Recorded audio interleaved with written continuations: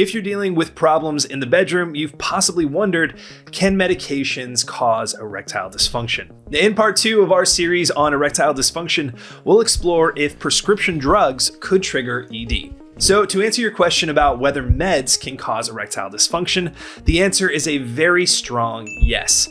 Many prescription and over the counter drugs are known to cause a loss of libido or impotence. Here are six medications that can contribute to ED. Blood pressure medications. Blood pressure medications are the first group of meds that can be a direct cause of erectile dysfunction. Beta blockers, thiazide diuretics, and loop diuretics are all known to cause problems with getting and keeping an erection. Some people depend on these drugs to treat their blood pressure, but there are potential alternatives to treat your hypertension, like angiotensin, receptor blockers, or ACE inhibitors.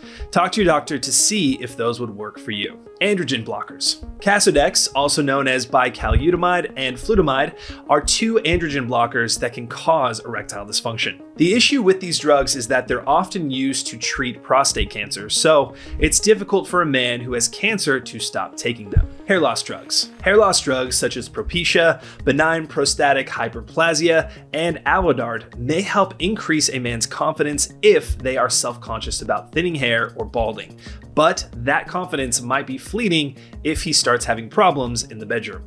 Minoxidil is a product that can be gotten over the counter to treat hair loss without loss of libido. However, minoxidil may have other side effects such as scalp itching or burning, weight gaining, swelling, difficulty breathing, rapid heartbeat, chest pain, and lightheadedness. Sedatives and anxiolytics. Drugs such as Xanax, Ativan, and Valium can help a person relax, but they can also cause too much relaxation in other areas of the body, triggering ED. These drugs interrupt nerve signals and hormones, but usually the problem is only temporary. Once a patient is weaned off of the drug, things go back to normal. Antidepressants. This is a big and important category because so many people take antidepressants. Selective serotonin reuptake inhibitors, or SSRI drugs, including Prozac and Paxil, are common antidepressants that can also have an effect on sexual function. Other potentially problematic drugs include Effexor XR, Cymbalta, Tricyclic, and tetracyclic antidepressants, such as Pamelor and Anafranil, and monoamine oxidase inhibitors, or MAOIs, such as Marplan. Now, if you are concerned about antidepressant medication causing ED, Wellbutrin and Remeron are shown to have little to no effect on libido or the ability to get an erection. But as always, speak with your healthcare professional about your options. Antihistamines. If you deal with allergies, you know how important antihistamines are to getting some relief. But they can cause ED because histamine is thought to act as a neurotransmitter that contributes to sexual arousal. Some of the drugs to watch out for are Tagamet, Benadryl, Claritin, Dramamine, Antivert, and Zantac. The ED effect will wear off once you stop taking the meds. If any of the drugs you currently take are on the list, don't just stop taking them. The last thing you want to do is to make an ongoing health problem worse.